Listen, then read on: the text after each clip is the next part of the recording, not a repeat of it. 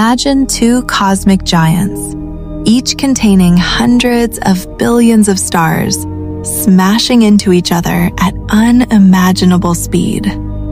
Survival seems impossible, but in the universe's most violent events, destruction doesn't always mean death. Galactic collisions don't work the way you think they do. When galaxies collide, something strange happens.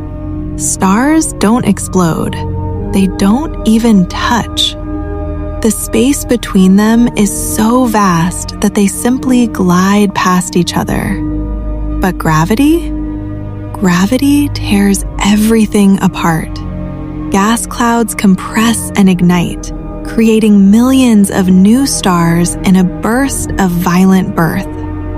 The galaxies merge, forming something larger, stranger, more powerful. But there's a cost. The supermassive black holes at each galaxy's core spiral toward each other, feeding, growing, until they merge into a monster that devours everything nearby.